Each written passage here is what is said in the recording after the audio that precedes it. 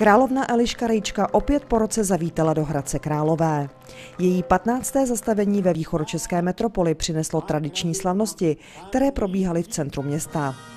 Diváky na několika scénách bavili muzikanti, tanečnice, kejklíři i další komedianti. Nechyběl ani tradiční průvod městem. K vidění bylo i sokolnictví.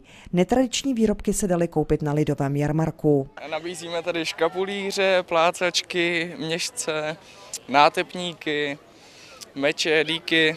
Co tady paní prodavačko nabízíte? Em, nabízím to, nabízím tady takový díky, škapulíře, pochvy a ještě tu nabízím.